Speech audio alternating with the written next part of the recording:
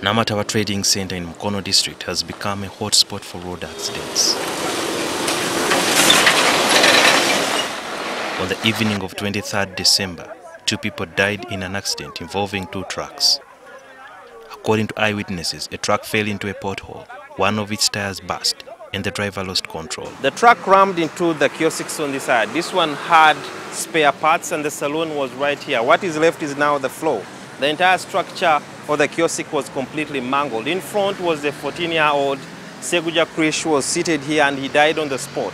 In the saloon, there were seven children who had come for a haircut on the 23rd of December 2022. And we have been informed that a nine-year-old died in the hospital later on. And all these are dreams shattered because Seguja had come to learn to do some bit of mechanics from a garage that is right behind here. And these are shattered dreams because ginger Road is completely becoming dangerous.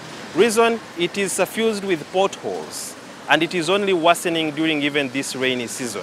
My child, I sent him from home to come to the shop to work because we have here a spare shop and spare shop, this is a garage. I sent him from home to, to come and work, uh, work in the evening. Or immediately, immediately, immediately reached here, the accident happened. Besides the potholes, this is a single carriageway that has narrowed over time. Motoka eva eri ejja edduka n'eva eno ejja edduka ate nga koona. Bantasizaako obukubu ampu n'ekinnya ne tusobola okukolerawo mu mirembe bwati era abaana bakolera mu bunkenke. Parked at Ssezibwa Regional Police Headquarters in Lugazi are the remains of many vehicles that have been involved in accidents.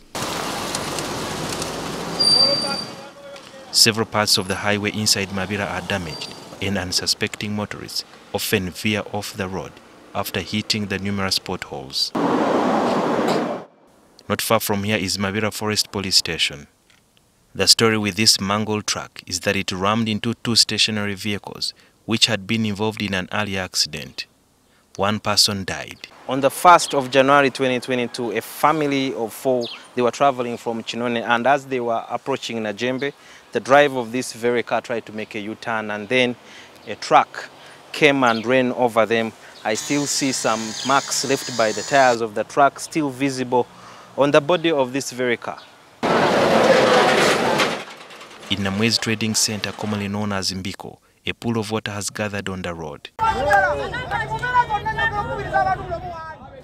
The locals say this and reckless driving have been the cause of several accidents and have raised concern but in vain. namba okubeera bw'ekyo naye nga ekkubo kati byafuuka bidiba emmoloka bwe zituukawo zikolerawo akisidenti ababooda babatomera olw'ensonga nti ekkubo funda sigazi bananga ensonga y'ekinya kino guno mulundi kati leero sigenze mu byakwekalakaasa bya luli leero luli mu mirembe.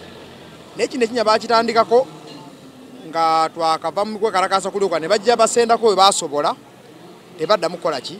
Kusenda. Ine ekkubo liva kenya nga ligata ku boda. According to police statistics, 344 accidents were recorded between 1st January and 30th November 2022. Of these, 78 were fatal and 96 people died. 167 were serious, 99 were minor, and 327 people sustained injuries.